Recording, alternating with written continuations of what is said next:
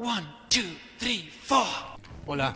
Caquito. Amigas y amigos, bienvenidos a Conversando con la Nueva Ola TV aquí en Canal 29. Esperamos que este día sábado disfrutemos y pasemos un programa pero ameno y entretenido para todos ustedes en su casa. Así es, amigos, nuevamente con ustedes en este lindo programa que hemos hecho como homenaje a todos los artistas de nuestra nueva ola chilena. Hoy día vamos a tener maravillosos artistas, así que bienvenidos a nuestro programa una vez más. Y tenemos dos grandes invitados para el día de hoy, ¿ah?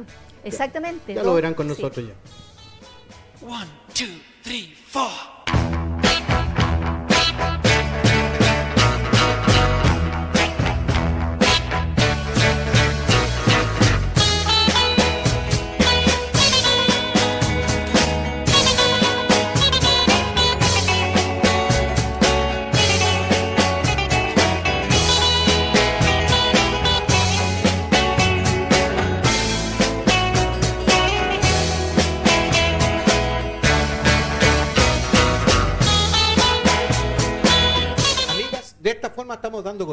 Al programa Conversando con la Nueva Ola de este día sábado, un poquito helado, pero ya va a llegar el calorcito. Marisol, quiero contarte que en esta oportunidad tenemos una artista de lujo, la invitada que tenemos hoy día.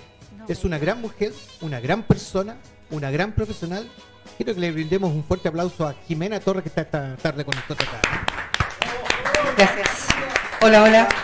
Hola, ¿cómo Jimena, estás? Muy bien, un gusto conocerte, Jimena. Igualmente. Asiante, por Así favor. es, Jimena.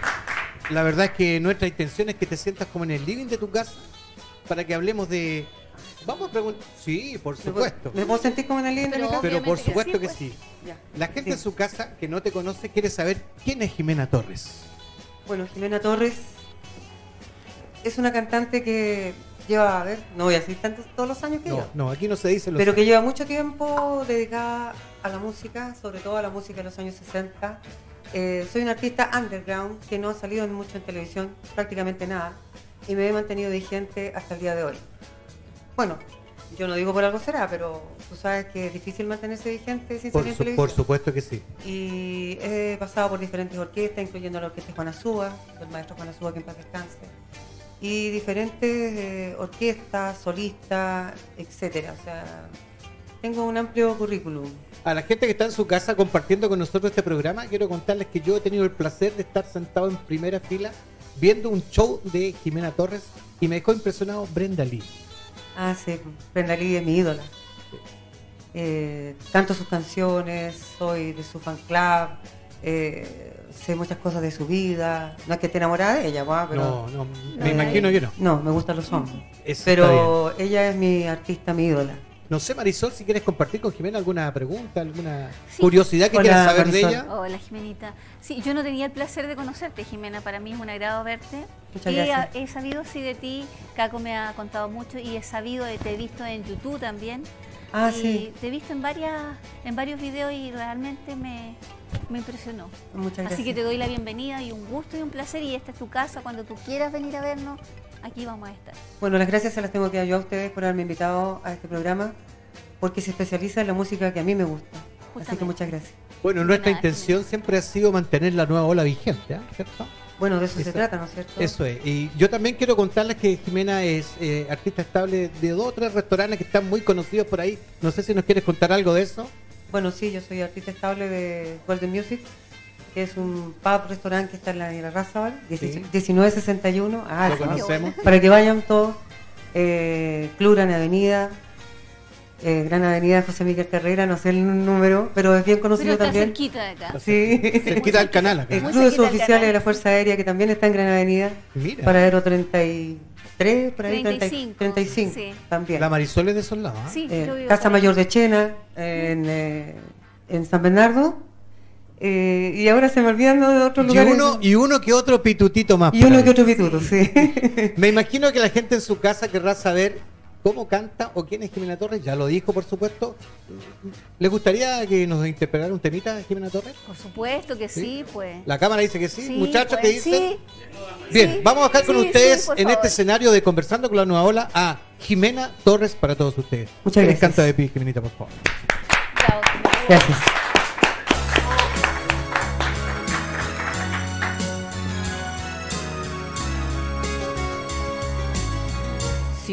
Sin firmar un documento.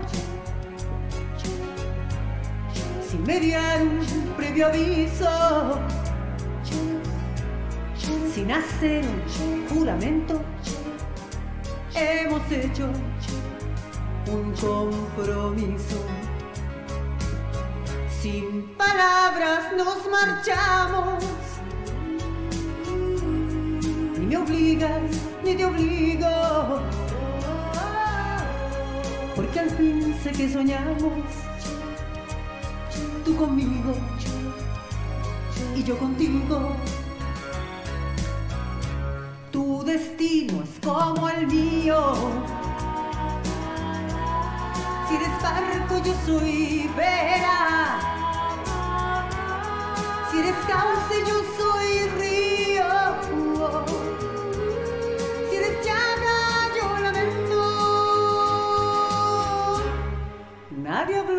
De enamorarnos, pero Dios así lo quiso. Y sin hacer un juramento, hemos hecho un compromiso. La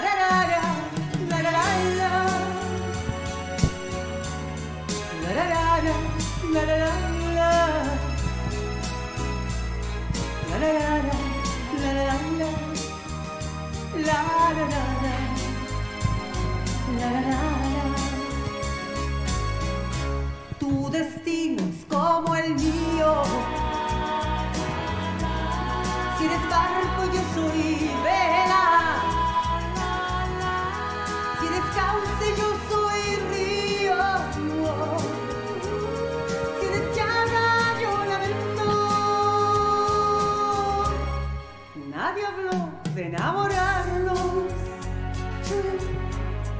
Pero Dios así lo quiso. Y sin hacer un juramento, hemos hecho un compromiso. Oh, oh, oh, no, oh,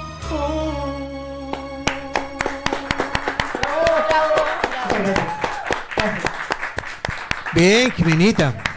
Extraordinario, ¿ah? Muy bonito. sí. Bueno, en la casa me imagino que están disfrutando con esta música, ¿cierto? Del recuerdo. Es una voz impresionante la de Jimena.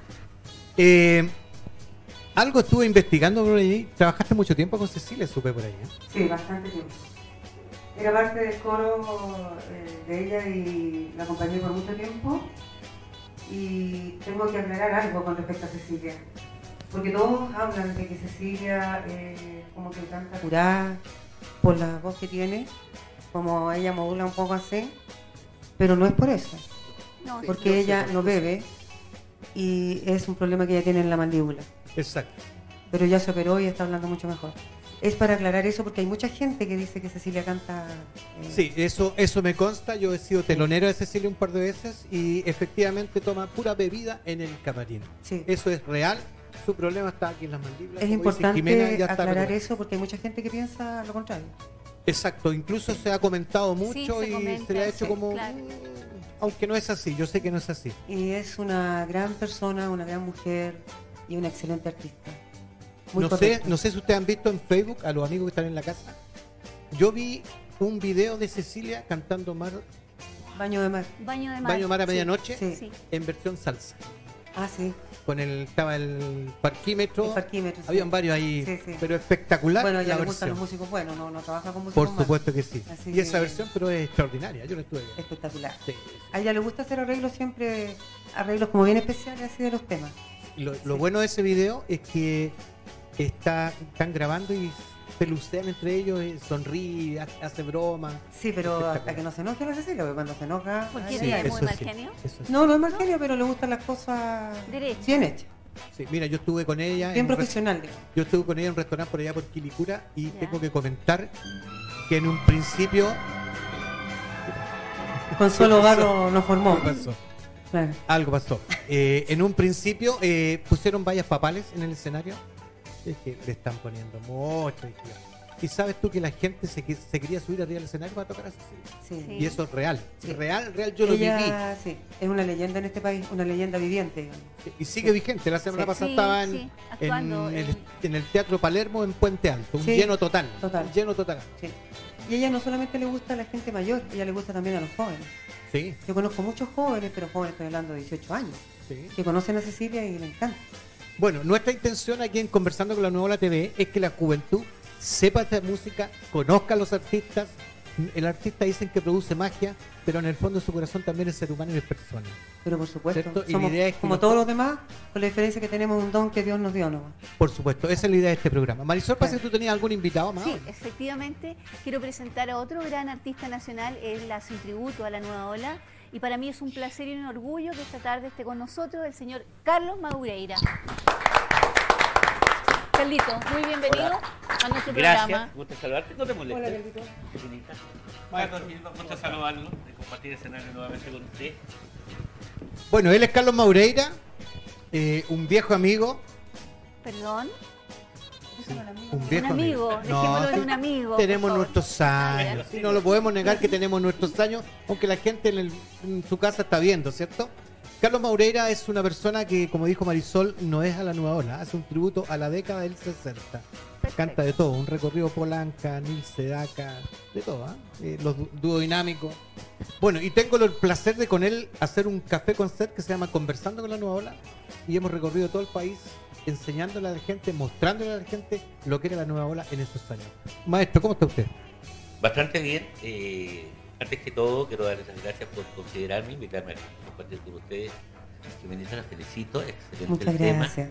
Eh, la gracia que tienen los temas de la década del 60, como digo yo, más que la nueva ola, es que tienen un contenido profundo y los artistas que hacemos estos temas lo hacemos con tanto sentimiento que de verdad te llega. Y lo hacen bastante bien, te felicito. Muchas gracias. Un Gracias. placer también estar compartiendo. Igualmente, Sí. igualmente. Bueno, mi maestro siempre ha sido un galán, así que no es novedad lo que está pasando. ¿Te gustó el de compromiso? de ¿El compromiso? 60. Sí, absolu- absolutamente. Absolutamente. Es un tema clásico, un tema de la que es maravilloso. ¿Qué es de Carlos Maureira? ¿En qué está en este momento Carlos Maureira? A ver, Carlos Maureira en estos momentos sigue cantando, está cumpliendo sus bodas de oro, empecé muy niño en esto. Ya tampoco voy a decir, No. no voy a decir cuántos años, pero sí me mantengo vigente, tengo el trabajo que quiero tener, no necesito, no soy un artista de televisión, eh, muy poca televisión realmente, pero estoy donde la gente me necesita. Hago mucho beneficio, hago... ¿Me, pare- me- me permiten que lo interrumpa? sí. Conversemos de los beneficios. Antes en Camarín estuvimos conversando de los beneficios. ¿Qué le parecen los beneficios? A se- Tapete a se abierto me- allá. A mí se me cayó un beneficio. ¿Cómo? Ese es un término artístico en la casa para que sepan lo que es caerse cuando se cae un evento. ¿ah? Te cayó un beneficio. Más que caerse el evento son lucas menos. Sí. A ver, los, los beneficios eh, son necesarios. Son necesarios. Hay mucha gente que de verdad necesita que se le preste apoyo. Pero lamentablemente, como ocurre en todas partes, hay gente que ha hecho un fruto de esto y lo ha transformado en un negocio. Bueno, Jimena adelante en Camarines comentaba que el beneficio se está produciendo en un vicio de repente. Sí, claro. Hay gente que como que malinterpreta la palabra bene- beneficio Exacto. y lo toma como un fines de lucro, digamos. O sea, para fines que no son tan, tan de emergencia como una enfermedad grave, no sé, como algo que realmente amerite hacer un beneficio. Y piensa que es una obligación de uno tener que ir a los Es tu, es tu obligación, sí, claro. Muchas veces. Si tú no vas, se enojan, Exacto. se molestan. Claro, y discúlpame, hay gente que no entiende que los artistas somos personas, como cualquiera. Tenemos las mismas obligaciones que tienen ellos, tenemos un hogar, tenemos familia. Tenemos que ir a la feria, al supermercado, tenemos que comprar. Exactamente. Por Exacto, supuesto que o sí. sea, eh, hay una mala interpretación, tal como decía Jimena, se enoja cuando uno no quiere ir. Sí. Y no es que no quiera, sino que a veces simplemente no se puede o no corresponde. Claro. Bueno, en, en la casa la gente tiene que saber, por supuesto, que con Carlos eh, hemos hecho mucho Fundación Las Rosas, Hogar Santa Clara, Coanil. Creo que eh, Jimenita también ha estado en la Sí, Fundación también, Las Rosas. también, sí. Hay una historia media Me quisieron dejar por ahí, ahí. pero dije yo que todavía no. Todavía nos falta. Qué bueno.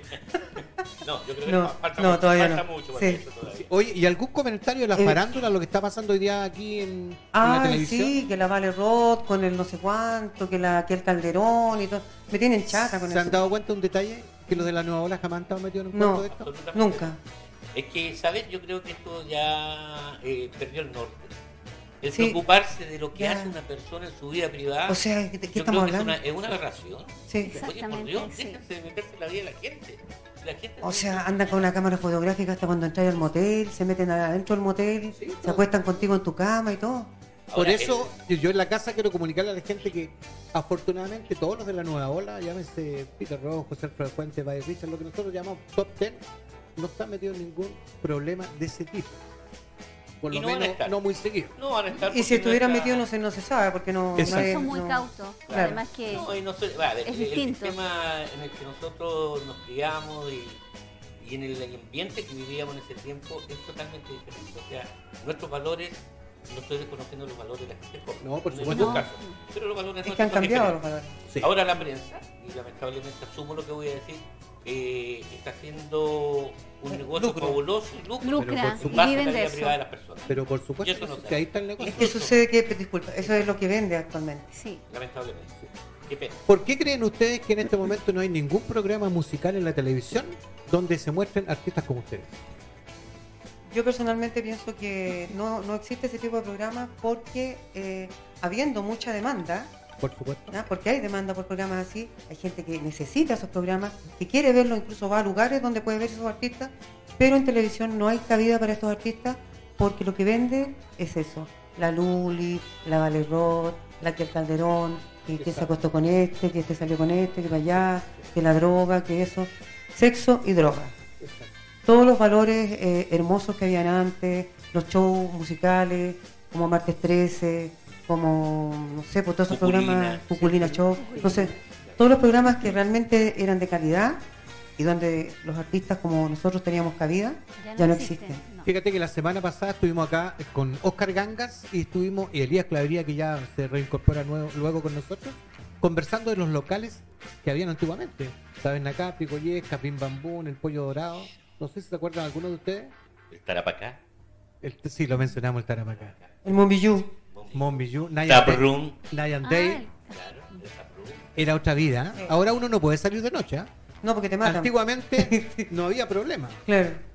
Es que todo ha cambiado. Yo te digo, a ver, la globalización, el internet y todo eso, eh, es cierto que nos ha traído beneficios, pero también nos ha traído información del extranjero que la gente joven de acá la copia y le hace mal, Mm, la interpretan mal. sí. Lo último que están haciendo, lo mostraron el otro día en España, los niños se están eh, embriagando con gel líquido. Sí, El alcohol gel. O sea, a ese Y ahora los cabros chicos de acá les copian a ellos, porque nosotros somos un país de copiones, Exacto. todos lo copiamos. Exacto. Bueno, estamos aquí conversando con la Nueva Ola, un programa de televisión para todos ustedes, donde estamos haciendo un, un homenaje a todos los artistas de la Nueva Ola que de una u otra forma hasta el día de hoy se mantienen vigentes. Mucha gente en su casa estará recordándose de cuando tenía 16, 17, 18 años, algún amor que quedó por ahí en el camino. ¿Sí? Sí, ¿ve? Yo tengo razón, tiene que haber algún amor en el camino. A ver, familia Maureira, Sí, esposa y dos hijos. perdón, Jimenita, No, yo he tenido mala suerte en el amor. siendo tan buena moza y tan espectacular. Eh, para que tú veas. Hay un dicho que dice la suerte de la fea, la bonita la, bonita desea. la desea. No, No. pero yo no me, que me crea bonita, sino que eh, igual No ha llegado tu momento. no, me han tocado puros pasteles. A propósito de pasteles. A propósito, A propósito de de pasteles, pasteles. A pasteles. eh, ¿a qué hora sirven los pasteles? No, ese- no. A propósito de eh, no, yo soy experta, tengo una panadería. Ah, que... Experta Bueno. en pasteles. Iguales. Ah, estamos iguales ya. Entonces, Cuéntanos estamos- algo tú, Marisol. ¿De los pasteles? No, no, por supuesto que no. Sí. ¿Cómo fue tu vida a los 16, 17 años? Mi vida era tranquila. eh, bueno, yo Tú eres de afuera. No, tranquila, me refiero, yo soy de... No, tengo... Yo nací en el año 61, así que saquen la cuenta más o menos, pero era distinta la de ahora de todas maneras. eh, uno viene de una familia tradicional, los papás estrictos, eh, como decías tú, uno podía salir libremente, entre comillas, tenía sus horarios, iba a las fiestas, pero hoy día totalmente distinto. O sea, tuve una infancia y una adolescencia, debo dar gracias a Dios, muy buena. Qué y bueno. muy tranquila y, y la gente pensaba también de distintas formas, o sea, no habían malas, malas intenciones, como ahora que es totalmente distinto. Sí, no, por supuesto que sí. Pero Vaya que influye bueno. eso en tu vida futura. ¿eh?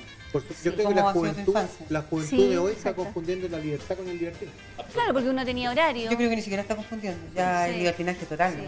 ¿no? No, y uno tenía horario para las salidas, por ejemplo. el alcohol. En esa época uno no. Ahora sabe, toman, no, pero hasta claro, quedar tirados. sí.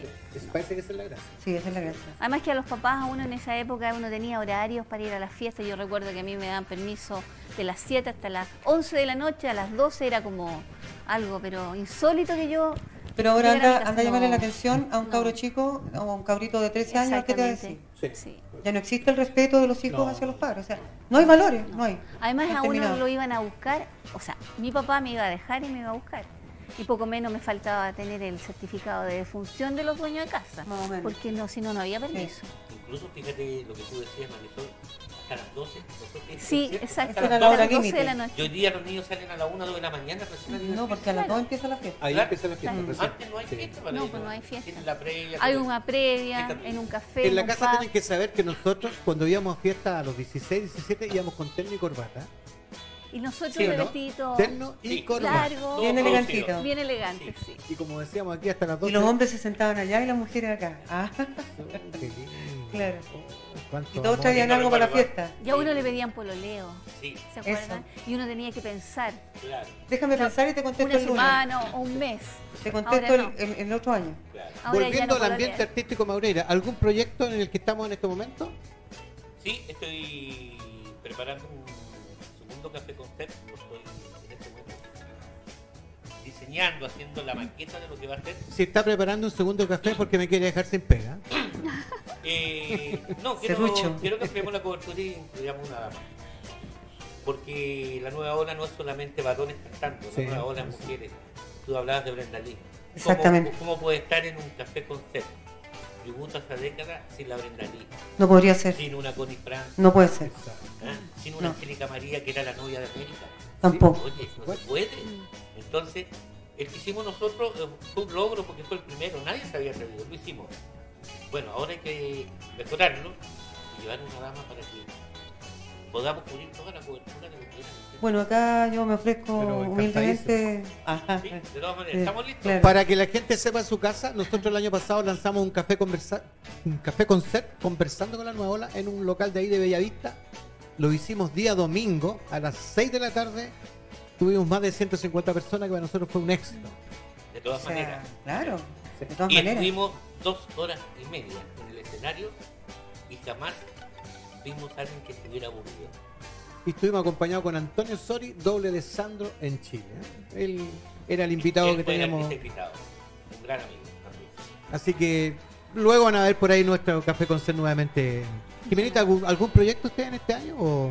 Sí, yo ¿O estoy en el proyecto, tranquilita? proyecto Hard. No. sí.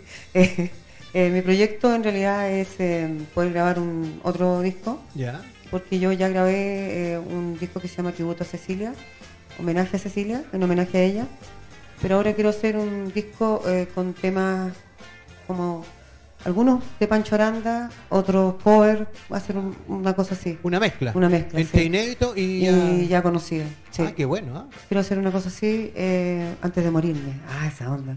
No, como, como, como una realización personal. Bueno, Jimenita, si ese proyecto sale este año, esta es tu casa. Lo Muchas puedes venir a mostrar acá, ¿cierto? Para difundirlo y la Ojalá. gente sepa más de Jimena Torres. Amigas y amigos, eh, vamos a ir un corte comercial. Estamos presentando Conversando con la Nueva Ola TV.